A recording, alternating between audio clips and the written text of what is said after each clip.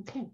All right, well, we'll get started. Um, thank you everybody for joining us for Grand Rounds for our uh, very first Grand Rounds on Zoom. Um, so hopefully everybody here has managed to um, navigate uh, that platform uh, and uh, we're looking forward to moving forward in this. Um, so the theme of this week is mentorship and menteeship, menteeship um, and it's very appropriate that uh, this week, we, uh, the Office for Faculty Affairs and Development just uh, put out their new guide for mentorship and promotion guidelines. Um, we'll be posting that URL in the chat. Um, so please uh, avail yourself of that resource um, and uh, take a look at it.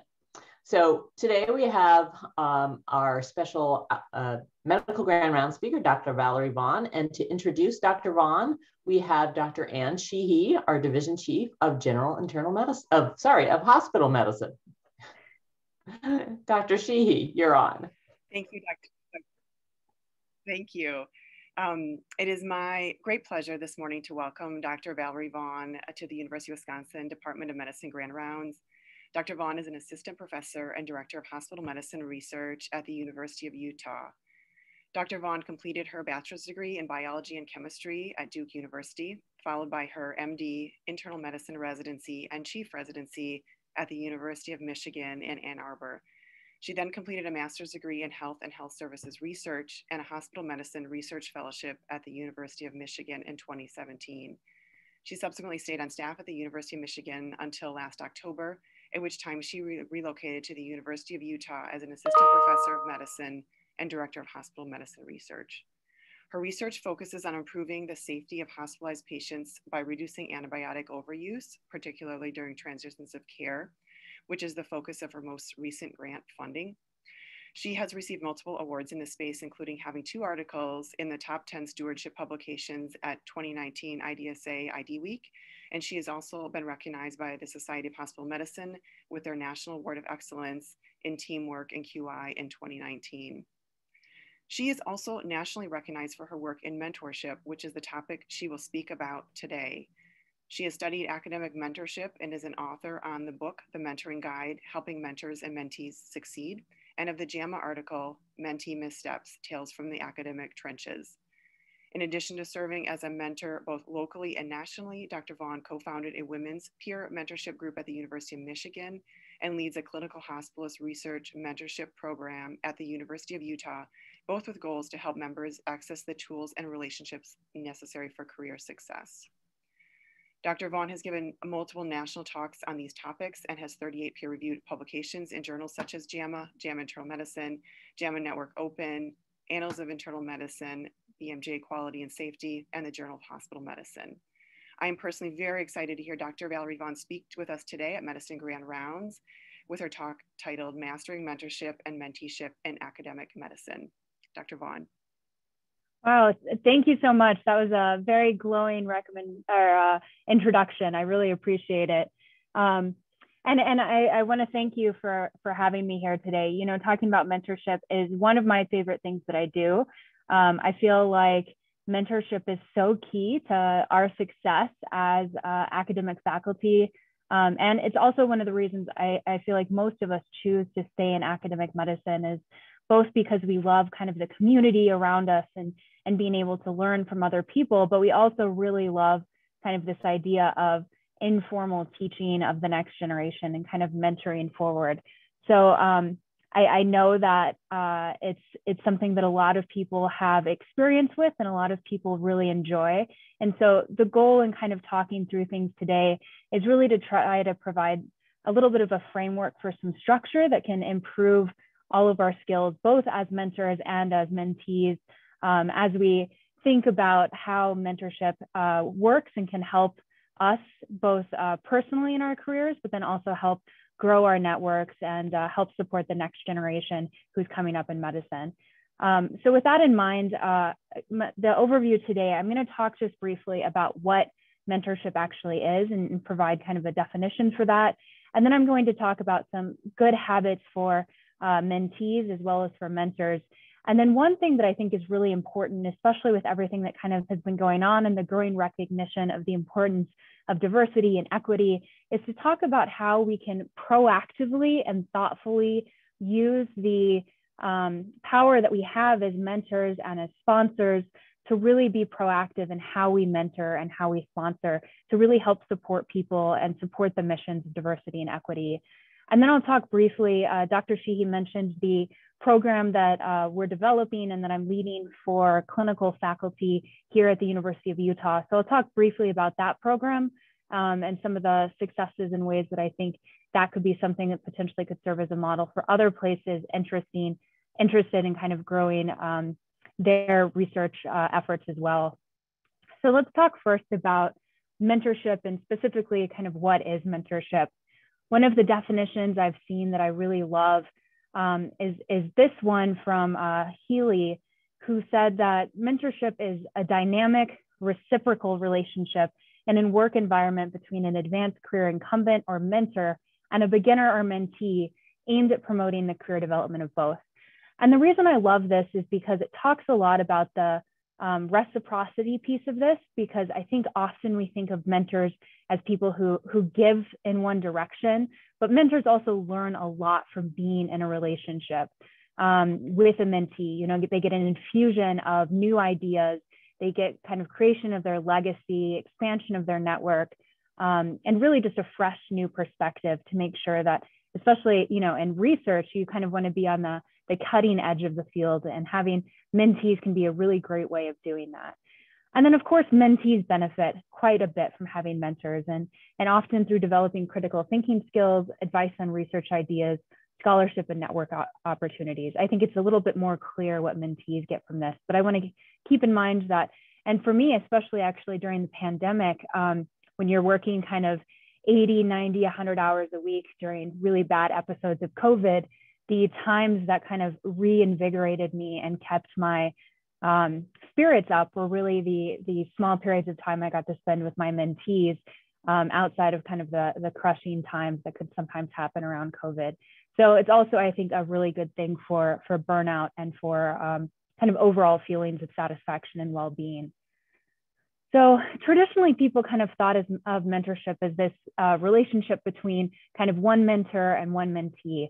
But I really think that there should be a more expansive view of this. Um, and there have really been kind of four archetypes of mentorship that have been defined. Um, and th these definitions actually come from an article from my old mentor at the University of uh, Michigan, Vineet Chopra, in an article he wrote in JAMA in 2017. And what he noted was that really mentorship is more of a team sport, that it's really hard nowadays to find everything you need in one single person. And so it's really helpful to kind of think of a number of people and think of your mentorship team. And there are really four types of people that should belong on your team the mentor, the coach, the sponsor, and the connector. And I'll talk about each of those separately. The mentor is um, someone who guides. So this is kind of your traditional one one to one career development. This could be a person who, if you're in a on a track that requires grants or writing that really helps write with manuscripts or with grants, if you're on kind of an educational track or um, a cl uh, clinical track, maybe someone who kind of provides um, overall career guidance about how to get kind of from step A to step B. On the other hand, the coach is someone who comes in maybe for a targeted area of feedback. So let's say that you're going for a job talk. Um, the coach can be someone who helps kind of hone your job talk skills and talk about your presentation skills. Um, if you're, again, if you're more on like a research track, a coach could be a methodologist that helps you kind of with the methods for a single project, but doesn't necessarily kind of stay with you for a long period of time. So the coach can kind of come in and help with one skill set, but really isn't looking at the overall picture. The sponsor is really important and something that um, in particular research has shown that uh, sponsorship is something that's really limited for underrepresented minorities, for people of color, and for women.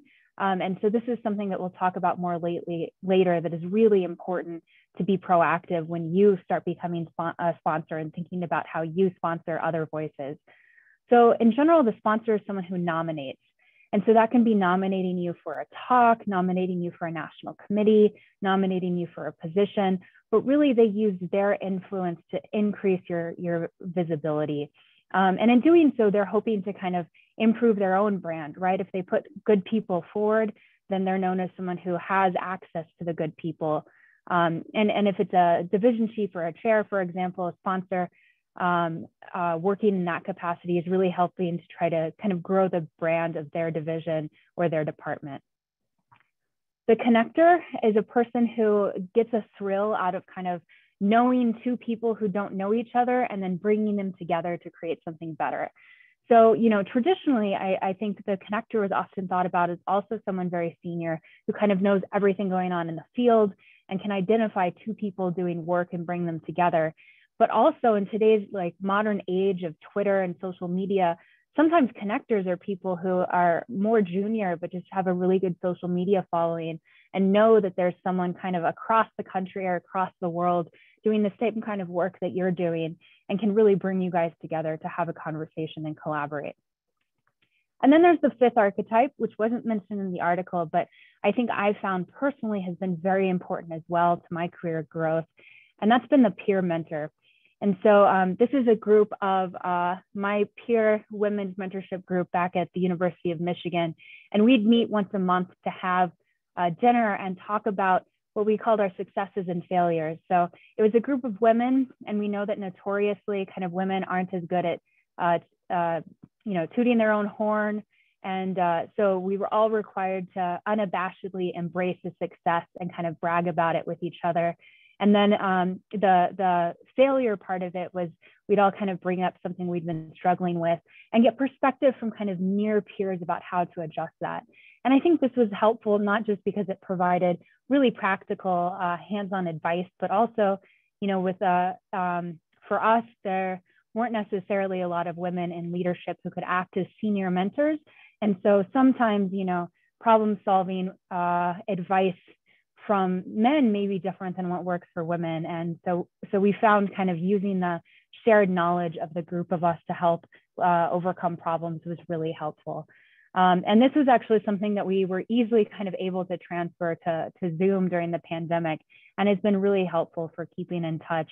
Um, and this is one of our kind of uh, recent meetings um, where we were kind of doing the same thing. So um, really uh, these five kind of types of mentors can come together and really help kind of support a career. And so I think it's really helpful to kind of think about who, and, and one person might be multiple of these people to you, you know, so often the, the sponsor and the mentor can be the same person.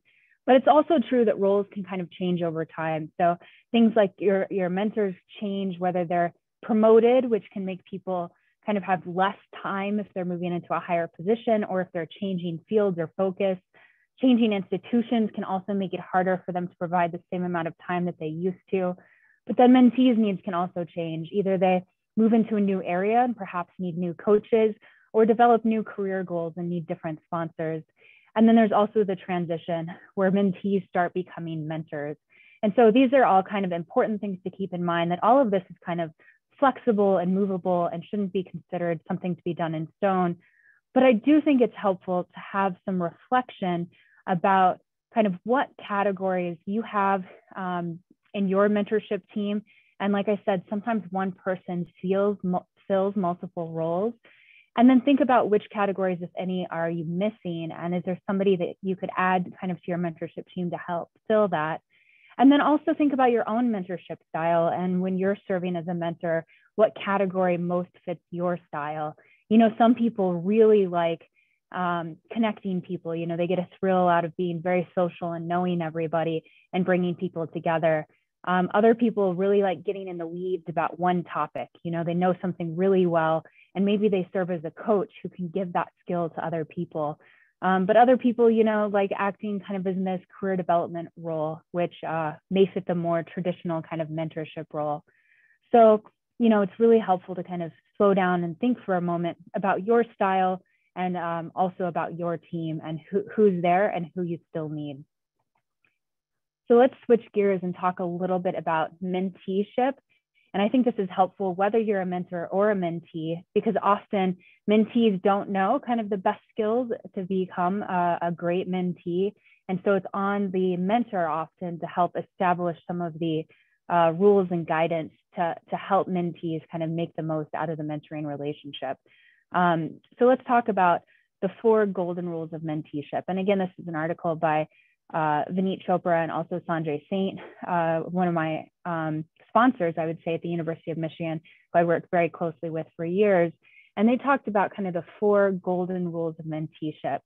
And the first, and we'll go over each of those in a little more detail, but the first is to select the right mentor. And again, because mentorship is a team, that often means selecting more than one person. The second is be respectful of the mentor's time. We'll talk more about that. Communicate effectively, which is really critically important, both for mentors and mentees. And then for mentees, it's really helpful to be engaged and energized. So I stole this mnemonic from Vineet Arora, um, another hospitalist who is absolutely amazing, is actually giving a talk at the Society of Hospital Medicine with me on mentorship and diversity. Um, but Vineet pointed out that when you're looking for a mentor, it's often helpful to think of the mnemonic CAPE. So first off, is the mentor someone who's capable? Have they mentored? Do they know the area? Are they someone that um, you know has had success in the past? are they available to you? This one's really important because often people choose kind of the most senior person in their field or someone who's known as an expert. But if that person is too busy to kind of do some of the day to day help, that person might actually be better as a sponsor than as a direct mentor. Do they have a project that's actually of interest to you?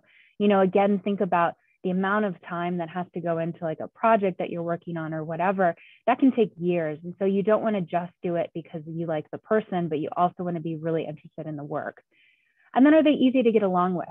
Here, we often do what we call a, a little background check, um, where you talk to other mentees that have worked with them before and so that that's helpful not just because you can get an idea of whether they're a good mentor but also maybe get some tips and advice about how to make that mentoring relationship work a little bit better. The second rule is to be respectful of your mentor's time. So um, as people you know kind of are more senior and get to be more senior their their time is uh, much much more limited. And so i think it's always super helpful to get on someone's calendar by having kind of regular cadence of meetings that are scheduled out maybe six months or a year in advance. Um, and then sending agendas to them. So about somewhere between three to five days before I meet with any of my mentors or before any of my mentees meet with me, we have an agenda sent out.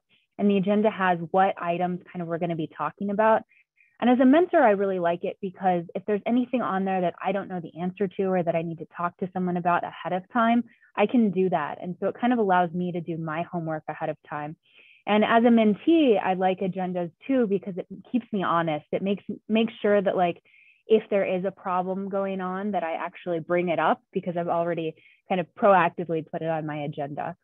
Um, and uh, the, the other thing that's really helpful is to ask for feedback in small bites. You know, sending an entire manuscript or an entire grant or an entire curriculum in one go is just not going to be something that your mentor is going to be able to do.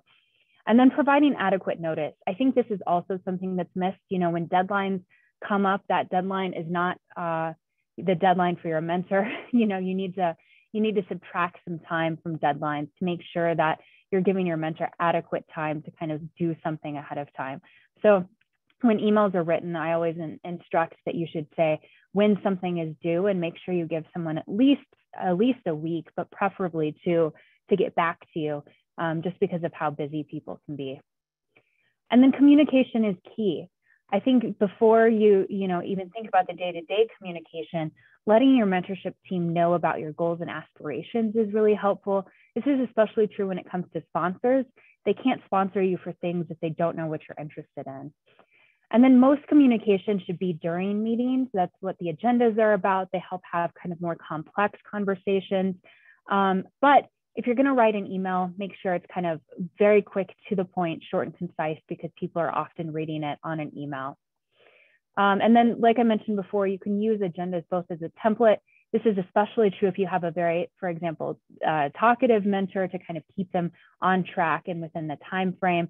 And then for, for people who are maybe a little bit more conflict avoiding, avoidant, agendas can also be helpful to kind of bring up something that's going bad um, and make sure to keep yourself accountable that you actually talk about it. And then finally, be engaged, energizing, and collaborative. Um, and, and generally, you know, I, I mentioned already that the none of us get paid to be mentors for the most part. And so what we do it because we enjoy it. And so it's really helpful, I think, as a mentee to think about the fact that, you know, as much as you can, trying to be positive um, instead of negative, being an energy donor, not a recipient. And, you know, it's it's up to you to kind of drive your project along. If, if your mentor is having to like continuously hold you count, accountable and remind you of deadlines and keep you on track, that's just going to sap some of their emotional energy instead of helping them um, uh, feel better about things, and that can be very very dangerous uh, and and reduce kind of the incentive for a mentor to keep mentoring. Um, being a closer, so finish projects that you actually start on. Um, and one of the, the, the famous kind of phrases is to under promise and over deliver. So if you think you can get something done in a week, tell them it's going to be two weeks and then get it done in a week and you can really wow them. And so, you know, I, I mention all of this not to say that we should be promoting kind of toxic positivity, but I do think there's a time and a place for bringing up kind of the negative aspects. I actually think talking, this is one of the reasons that peers are really helpful is because those are people that you can talk about some of the, the issues and maybe do some of the complaining with. But with the mentor, if you're going to bring up a problem, it needs to be so that you can brainstorm a constructive solution, um, not just to complain. And so um, you know, those are kind of the ideal habits. I want to touch briefly about some of the mistakes that can happen too. And these actually come from an article I wrote in uh, JAMA back in 2017 and came from this kind of universal angst that a lot of my, myself and my peer group had been feeling about some mistakes that we had made um, as mentees and part of it was that we wanted to understand uh, what were the system versus personal issues that came up when it came to like career advancement and navigating kind of what it meant to be junior faculty at an academic institution. And although there are definitely system issues that contribute to some of the problems, you know, if you can identify what the personal issues are, you can actually help uh, overcome them, right? So it's very hard as junior faculty to fight the system, but there are some things that personally uh, we could do to kind of help overcome some of the things that uh, we were causing problems with. And so that's kind of where this came from. And, and one of the things that came up as an origin of mistakes was that there were really two kind of uh, origins. One was lacking confidence, and the other one was conflict aversion. So, lacking confidence here, I mean to say behaviors that were uh, kind of due to a desire to appear infallible um, and often rooted in kind of a fear of failure. You know, um, especially in academic medicine, a lot of us are very kind of um, have done well all of our lives and are used to success and kind of coming up um, around this, you know, maybe starting to make mistakes, doing things that are a little more, bit more difficult can be very difficult uh, for, for all of us. And so, um, you know, a lot of us have heard this kind of feeling um, described as the imposter syndrome. So this idea that, you know, you're you're moving along and you got here by accident, people are going to realize that you're a fake at any moment and you're going to be discovered. Um, but the other way I like to think about this is by saying that people have uh, potentially a fixed mindset. And this is actually from Carol Dweck, um, who thought of this idea of fixed versus growth mindset and described it first in children, actually, and said that the fixed mindset is this idea that we kind of have an innate sense of characteristics. And if there's something that comes along and kind of challenges that, for example, maybe you innately think that you're really smart, but if something comes along and you make a mistake, that can completely challenge your entire self worth. Um, the growth mindset, on the other hand, is this idea that you are you can become anything and you learn by making mistakes and so when mistakes happen they're seen more as a growth opportunity instead of this proof that maybe you're not worth it after all and so kind of switching from this idea of fixed mindset to growth mindset i think is really important and trying to reframe our mistakes as learning opportunities. And we can do that both personally, but we can also help our mentees kind of move from thinking about mistakes as something that means they need to leave medicine and quit altogether to something that just shows that that that they're learning, and that's uh, an important part of a career goals growth, no matter if you're a trainee or even a faculty member. So there are a couple ways that kind of lacking confidence can manifest.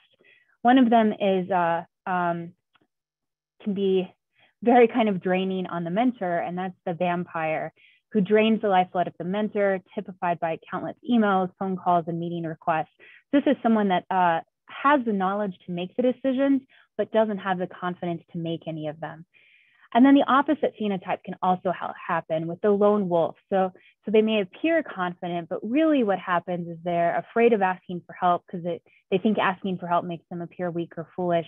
But the problem is, is that they can make kind of catastrophic mistakes by going their own path without asking for help uh, for things that could be easily averted. And then the third type is the backstabber. Um, this is someone who may perform well, but if something comes up, not only do they uh, create a lot of excuses, but they might actually put that failure onto someone else instead of owning it. Um, and so it's obviously very important to develop the skills of kind of um, owning your own mistakes and also owning uh, the solution to those mistakes. And then the other side of things is conflict aversion. So these are behaviors that stem from a desire to please or distaste for confrontation. And so you often see conflict averse mentees as people who are kind of like known as yes people.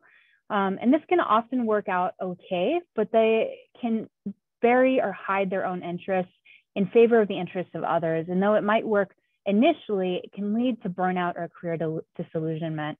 And I think some, some of uh, all of us probably have a little bit of conflict aversion in us, in part because the um, environment that we're in is very hierarchical. And so conflict aversion is kind of trained into us. And so um, the, the three main kind of phenotypes of this, and I'm sure we've all been some of these at some point in our life, is the overcommitter who says yes to everything, but then has high output failure due to lack of prioritization and development. The ghost who hides and kind of avoids conflict and hopes that their mistakes or poor performance go un unnoticed. Or the doormat who is often on the opposite side of an exploitative mentor and is often used but seldom recognized and often takes on tasks without being recognized for their contributions. And so if we were here in person, I would kind of go through the next case together as a group, but I'd like you still to kind of think about what your response would be on your own to this. So let's say you had a mentor who was looking for someone to help lead the development of a new project in your division. Your mentor turns to you and lets you know they've been having a difficult time finding someone and thinks that you would be great. On the one hand, it's not something you're really interested in doing, and you're already swamped with your other projects. But on the other hand, your mentor seems to really need the help, and maybe it won't be too much work. So take a moment and think for yourself about what you would do. Would you agree to lead the project? If not, how do you say no without ruining kind of the relationship and letting your mentor down? And how do you kind of offset this in the future? You know, what can prevent this in the future? What could be contributing to this problem now? So if everyone kind of takes a moment to think about this, you know, I think all the time we get asked to do things that um, are not the thing we want to do the most in our lives. And so um, some of the best advice I've heard around things like this is first off, I think step one is not to make an immediate decision right? The answer is always kind of find out more information first. So, why is this opportunity being offered to you? Maybe your mentor is actually thinking about how this can help you get to your next goal, this kind of pathway, but just isn't kind of expressing that pathway very well and, and you can't see it. So, ask some more clarifying questions. So, what, why is this opportunity good? Why are you the person they're thinking of of this? What exactly does the opportunity entail? What kind of support comes with the opportunity. Those questions can be really helpful kind of on the um, on the outset just to make sure it may be actually that oh yeah you're right. This is a great opportunity for me. Absolutely i want to take part in it. But then let's say you hear all of the reasoning why and it's still not something that sounds right for you. This is a good moment where it depends kind of on the amount of work right? So if it is actually something that is a huge amount of work which is typically what these things end up being then maybe you want to figure out a way to say no. But if it's something small that can help build up goodwill um, in your mentor and your boss, then it's actually something that maybe you want to just do and say yes to. But um, let's say it's in that, that first situation where it's actually something that you've decided is best to say no. One of the ways that I found really helpful to kind of combat this is actually to, to bring that up to your mentor and say, you know, this seems like a good opportunity, but you know, I've got a lot of things on my my plate right now. And as you know, our top priority for me this year is to do A. I, I don't see how this fits in with that. You know, could you explain a little bit more to me? Or is there something on my list of items that you'd like me to drop in order to focus more on this? You know, and then when they see that, you know, you already are kind of full on your plate and everything else is really important to them as well, maybe they say, oh, never mind. The other way that's also really helpful is to suggest someone else that would be great. Maybe there is someone who um, would be really great for this initiative, and you can actually act as a sponsor in this way. Um, so, so thinking about things proactively in that way. And so, how do you kind of set set yourself up for success so things like this don't happen in the future? One way is by setting and communicating goals before the problem arises. So if your mentor doesn't really know what your five or 10 year plan is, then maybe they're giving you the access to this opportunity because they think that that fits with what you want, but they don't know because you haven't communicated that it's not. Um, so really try to set and communicate goals early and often. And then the other thing I do kind of internally is before I say yes to anything, I determine what is now getting a no. You know, when you first start, saying yes early and often is really helpful. But then by the time that you get kind of your calendar filled up and you have a lot of things on your plate, there's not really more hours to add to the day. And so if you're going to say yes to something, something has to be taken away. And it really shouldn't be sleep and family time. You can only do that so much. Um, so think about what on your list can be dropped if you're going to add something new. And then a really good skill is to learn how to give a positive no. I really recommend this book by William Ury called The Power of the Positive No. And what he talks about in this book is that in order to say no, you have to first kind of say yes to yourself and your own goals, your own personal life, your own time. Say no to the actual thing being asked to, but then say yes to continuing the relationship with the person who is asking you something. So, one way of giving um, a positive no is saying, This sounds like a really good opportunity. Unfortunately, for me right now, I'm so busy with doing X that I don't think I'd be able to give it my full attention but I know someone who would be great for this. Why don't I connect you to this person who I know would really be interested in doing this? And that way, it's kind of a win win for both of you. So, um, and for all of these different kind of mistakes that can happen, you know, the important ways to prevent them are first and fo foremost open and honest communication. So about your goals, about mistakes that happen, you know, confronting things early is always helpful if you do make mistakes, try to reframe them as a learning opportunity. And I actually see coming to the edge of what I know and making mistakes, not knowing the answer, means that I'm growing as a faculty member. So continue to kind of uh, think about uh, growth in that way. And then I've always found developing a peer mentorship group to be really helpful for some of these things. Both if I'm, so for example, conflict avoidance was always one of my big missteps and uh, using my peers to kind of talk about alternative strategies, to talk through my strategy uh, to overcome an issue was really helpful in kind of gearing me up to then bring that up uh, the chain of command if uh, that's what I needed to do. So what about the other side of things? So now that we know what uh, great mentees should do, what should great mentors do? There have been um, a whole host of suggestions, but one that I thought was a really good compilation was um, six things every mentor should do. And this included choose mentees carefully. So just like mentees should do a good job of choosing mentors, the same should be true of the reverse. And so one thing I actually do when I'm uh, when I'm thinking about mentees, especially now that I'm starting to get kind of more more people wanting to be my mentee than I have bandwidth to carry, um, is to is to give them kind of a, a test. So someone will come to meet with me and I'll ask them to you know, read a paper and let me know what they think, or um, you know, do a quick lit search and let me know if anybody's already answered the question that they've come up with, or or something. I give them some item to do, and most of the time I never hear back from them again, which is a win for both of us. It means that I didn't waste my time on someone who's not going to commit, and for them, it's also probably good that they didn't commit to something that they're not actually interested in. So doing some sort of kind of test ahead of time for your mentees to make sure that you know, they're going to commit given that it's so much energy that you're going to have to put in as well. Establishing a mentorship team, it's as helpful for you as a mentor as it is for your mentee because you're not going to have the entire skill set to help them with everything. Running a tight ship.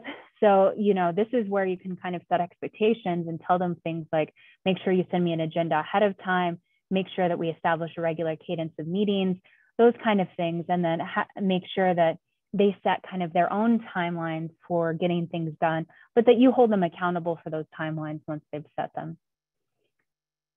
Um, I think it's also really helpful as mentors, especially in you know this academic setting where there is such a hierarchy, to help when there are problems, especially that occur above kind of a mentee's uh, role. So if there are issues that they're having with someone who's more senior to them, it really is helpful for you to either step in or provide actionable advice that they can use to kind of prevent some of those conflicts. And then really help prepare.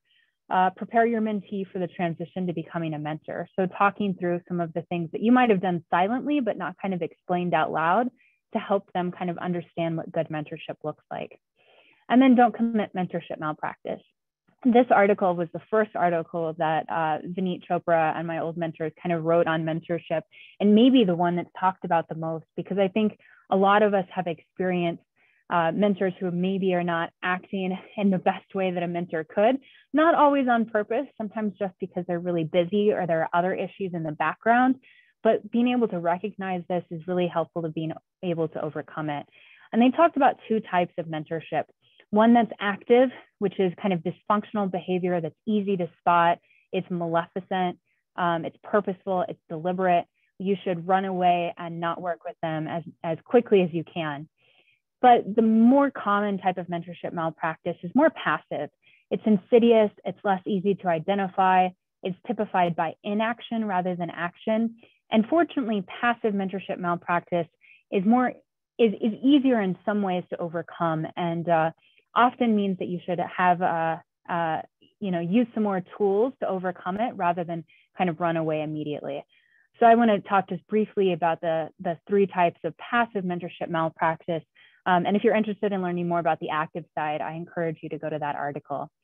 But um, the one that's probably the most common, I think, is the bottleneck. So this is the mentor who is often maybe recently promoted, very busy, um, and they're pre preoccupied with their own priorities and really lack bandwidth or desire to become a committed mentor. So maybe they committed to too many, maybe they're guilty of overcommitting themselves, but really they're just too busy to kind of offer you the needs that, or to, to address your needs and offer you the advice that you need. The country clubber is someone who really has a tough time, maybe they're conflict avoidant themselves, with kind of fighting those battles that need to be fought for you um, and really view mentorship more as a ticket to popularity, but have a real hard time kind of making those tough decisions um, and taking responsibility for things. And then the world traveler, uh, not a problem now uh, for the last year, but um, you know, outside of COVID times, the world traveler can be someone who, again, just is never around. So it's really hard to uh, kind of come up uh, and, and meet with them on a day to day basis. And some, some ways that you can deal with all of these, you know, um, the world traveler, uh, uh, some of my old mentors were that pre-COVID, and we would have mentorship meetings over Zoom before Zoom was a thing, or we would have mentorship meetings in the Sky Lounge um, when we were both flying to different places. So it's really important to plan in advance for those mentors. Um, the bottleneck, really helpful to set deadlines ahead of time um, and, and kind of sometimes just to, to talk to them and say, you know, it seems like um, you've been very, very busy re recently. How can I make sure that, um, you know, we meet de deadlines, um, given that I can't keep pushing back deadlines for grants or papers? So um, I'll talk about one of the other cases. The, the bottleneck is probably the most common type of um, malpractice that you have to overcome. And, you know, I've experienced it. I, I think I've probably been guilty of it before as well, although I try to kind of prioritize my mentees' needs and timelines. But let's say that you know you've had a mentor, you've worked together successfully, things have gone well before, but your mentor was just promoted to a new position, which requires more time. Since then, it's been difficult to find time to meet one-on-one. She's rescheduled multiple meetings at the last minute, and you just missed the deadline for a project submission because she didn't provide feedback or sign off on the project in time. So what type of mentorship malpractice is this? I already gave the hint for that. This would be, of course, the bottleneck, which I, like I said, I think is the most common type of mentorship malpractice. But then I'd like you to think about, you know, have you seen this in your life? What strategies have been successful for you and how can you fix this? Um, you know, some of the tricks that I've used to deal with people who have been bottlenecks in the past is, like I said, setting hard deadlines. Sometimes it's just, it's again, actually on the mentee who hasn't set a timeline and just shot off an email that was like, hey, can you read this when, when you can? Sometimes I actually will, will give fake deadlines. Um, you know, like uh, I know that something is due middle of May, but I ask for them for it back by May 7th um, and say, you know, and, and I try not to, to straight out lie, but, but say something like, I need this back by May 7th in order to submit it in time. And that's true. You do need something with a little bit of warning before a, a deadline. So doing that, I also sometimes will say, um, especially as I've, I myself have gotten more senior and more confident with submitting things, you know, I need this back by X date. If I don't hear from you by then, I will submit it um, and assume that you kind of agree with what I've submitted. So, and but then if you do that, if you kind of make that threat, you have to follow through with it. So these are some ways. I think there's some people too that um, deal better with things in person. So, you know, uh, back when we could actually see people in person, it might be better just to drop by their office. And so I think learning a little bit about the style of the mentor that you work with is really helpful here. But overall, the kind of important things about mentorship malpractice is really not to be complicit, to learn how to recognize it, identify it, discuss it, and then set boundaries and communicate your needs.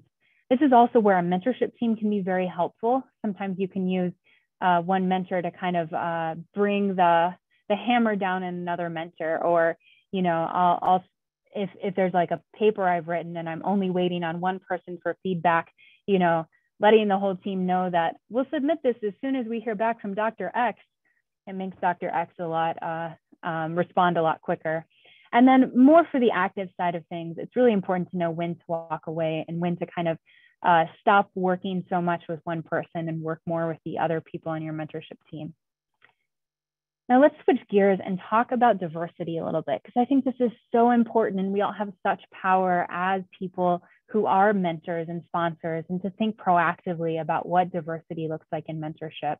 Um, so as we all know, kind of gender and race-based stereotypes and unconscious assumptions are alive and well. Uh, disparities and outcomes are persistent and striking.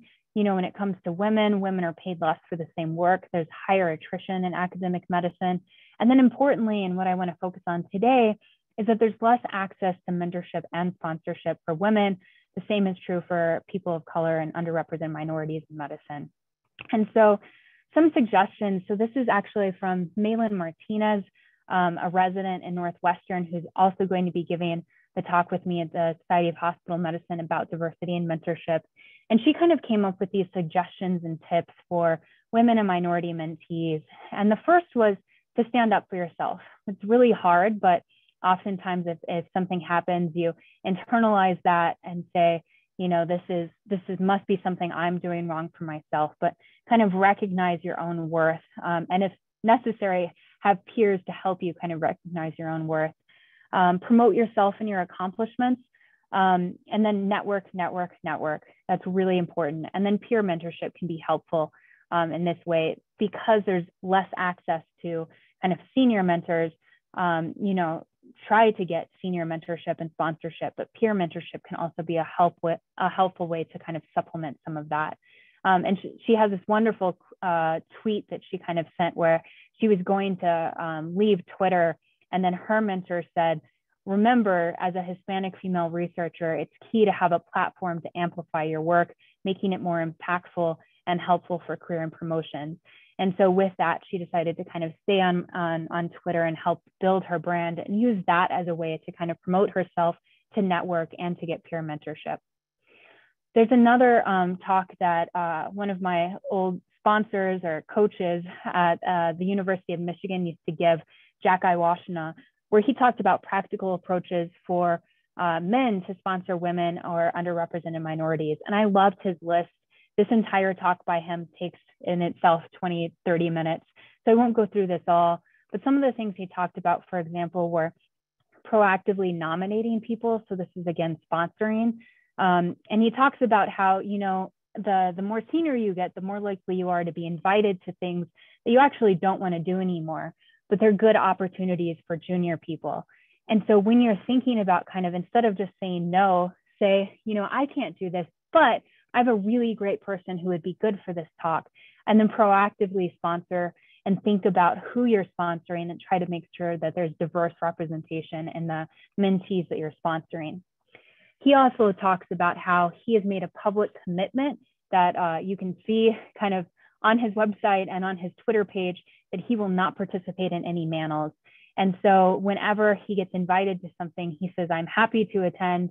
Um, I just want to make sure it's a diverse representation on this panel because I've publicly committed not to be in any manels. If you have any needs for me to uh, provide names of some talented women or people of color uh, in this field, please let me know. And it's actually been really well received by some organizations. And he's had like one that it has not been well received at, and that's one that he no longer participates in. And then there's a self audit. So think about yourself and who you publish with, who you nominate for things. Um, if you're on Twitter or some other social media network, who do you follow? Who do you retweet? Who do you like? Think about that because the people that you kind of surround yourself with, if they all look like you, then maybe it's time to branch out a little bit because you're not going to be able to expand your network and diversify your network unless you do so proactively. So think about kind of reflect on what's one strategy that you can use today, this month, or this year to sponsor and proactively sponsor your mentees. And just briefly, I want to talk about the, the mentorship program that we're building at the University of Utah. This is built off of a, a mentorship program that I helped lead the last year I was at the University of Michigan. Um, and it's called the UQual Scholars, or the Utah Quality Advancement Laboratory Scholars. And the vision kind of our, of our hospital medicine research division is to grow a thriving quality improvement and research infrastructure that will support, train, mentor, and recruit outstanding hospitalists to enable continuous delivery of high quality inpatient care for Utahns. And what I really recognize is that if you look at clinical hospital medicine faculty, they really have absolutely amazing ideas about how to improve clinical care. They see it all every day, they can identify the problems that are going on, but they don't necessarily have the study design knowledge, the writing skills, or the access to the infrastructure in order to turn those great ideas into improvement opportunities. And so what I wanted to do was to help provide them with those things to take those ideas into practice to improve care for patients, but then also help uh, improve their academic uh, reputation to help them get promoted and also build the academic reputation of our section. Um, and so with that, we developed UQual Scholars, which is a one-year mentored research and quality initiative program. We have four mentees every year, and over the year, there are 12 interactive classes on methods and writings where literally we walk mentees step by step through how to design and write a project. So before they actually start the research, they will have written their intro methods and fake results um, just so that they can think ahead of time about the study design, about how to do something. This is a very mentored program, so there are actually protected time for two mentors myself and another person who's a very, very strong kind of quality improvement background. Um, and then by having the four mentees this way, it creates a peer group. And then we also provide resources, a research coordinator and an analyst to help with some of the data analysis. And the key thing about this program is that it's not just, it happens every year, but once you've gone through it, you are asked to make a commitment to become a near peer mentor to the next group that comes through. So in this way, you're kind of paying it forward. It's the gift that keeps on giving. And we're actually in the first year training some, some faculty members who are a little bit more senior with the hopes that we know that they're already acting as mentors. So if you can provide the mentors with kind of the high quality research skills um, and study design skills, then they can actually provide it as they continue to mentor people in the future. So in conclusion, I hope we've learned kind of through this conversation today that mentorship is a two-way street mentors gain from um, their network and from satisfaction, and mentees gain from uh, a whole bunch of things related to career advancement. But mentorship is best as a team sport, and it's helpful to think about uh, mentors, sponsors, coaches, coaches, connectors, and peers in thinking about who your mentorship team is and thinking about who you uh, serve as a mentor to. It's the best way to avoid mentee missteps is with good communication and by setting goals and priorities. And then mentorship malpractice can threaten the mentee mentor relationship and lead to major problems for the mentee. It's best to kind of head that off through identifying it, um, open conversation, having a mentorship team, and knowing when to walk away. And then proactive mentorship and sponsorship is really needed to help improve equity. And we all have a role to play in that, all have power by being mentors and helping to improve in that way. So before I end, I just want to give a big thank to, thanks to all of my mentors and all of my mentees who I continue to learn from. Um, and I'm looking forward to your questions, but I'm also happy to take them on Twitter or you guys can reach out to me by email afterwards. So thank you very much. Look forward to talking more about this. Great. Thank you so much for a wonderful overview. Um, there's a question from Kristen Panther about um, recommendations for mentorship uh, across disciplines, um, interdisciplinary teams, and how to go about that, and um, just your thoughts. Yeah, no, so this is really helpful. I think actually, so, you know, hospital medicine is one example where we're kind of a relatively young field um, and thinking about this number of senior mentors available for the vast number, large growing number of junior people, there just aren't enough. Um, and so it's really, I think cross-disciplinary mentorship is actually critically important. And so like my mentor, my, my mentorship team, for example, has someone in pediatrics, um, a PhD researcher who's outside of um, internal medicine. And, and it really helps bring kind of diverse opinions and sometimes can also help um, kind of uh, bring an alternative perspective that you wouldn't have based on the people that you're normally surrounded with. I also do think, though, it's really important to have someone with, your, within your own division who knows a little bit more about kind of the internal politics. So this goes back to why it's really helpful sometimes to have a team. Um, and often, actually, having a mentor who's outside of your institution can be nice as well, because again, they can show you kind of alternatives to kind of the way that everyone around you might be thinking. So, um, yeah, having kind of a, a group approach is really helpful for people kind of on a research track like I, like I am, you know, where, where grants were an important part of my career, bringing together that team once a year is also really helpful to get everybody on the same page. And you can use those group meetings also to kind of overcome any disagreements that might be going on by facilitating a conversation between people.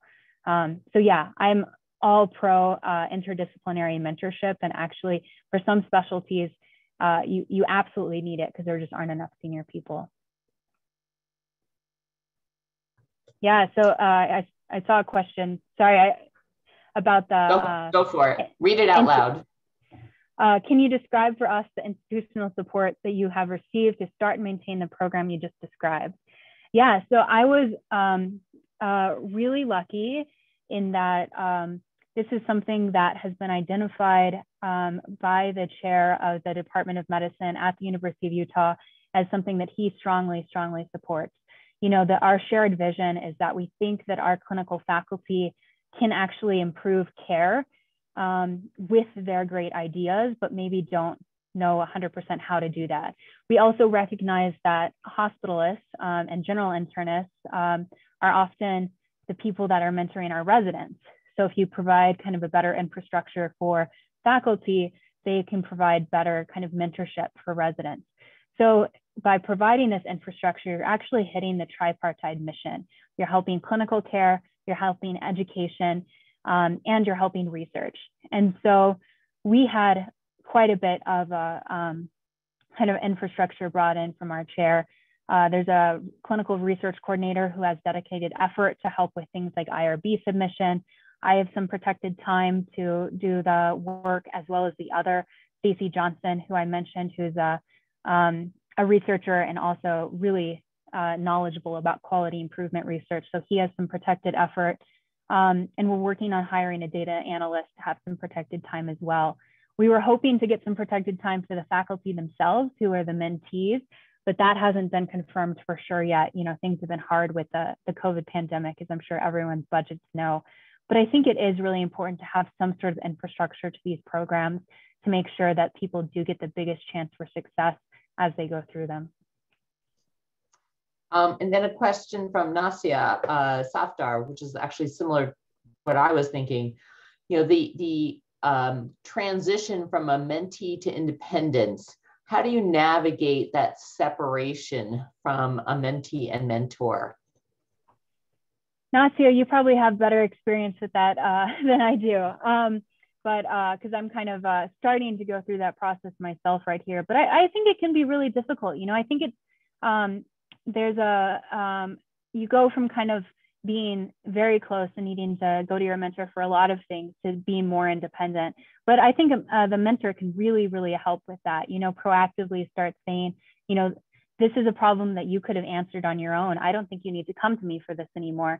I remember the first time um, I kind of gave a talk or without having anybody kind of uh, um, watch it beforehand. You know, my mentors used to make me practice in front of them. And then there was a point where it was like, you don't need to practice in front of me anymore. You've got this.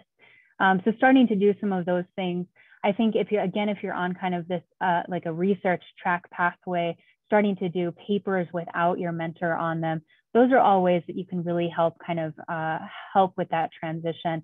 But often the mentee doesn't kind of know ahead of time to start doing those things. And so I actually think it's really helpful when the mentor can start pointing out, like, you don't need me for this anymore. Like, you've got this. Why don't you do this?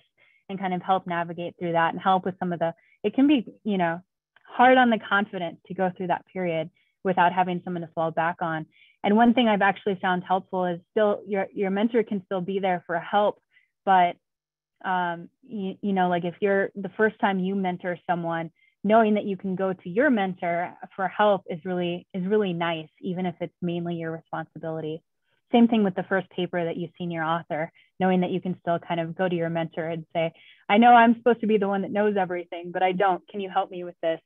Um, and then you realize that no senior author knows everything and we all ask for help. So um, those are some great ways to kind of do that.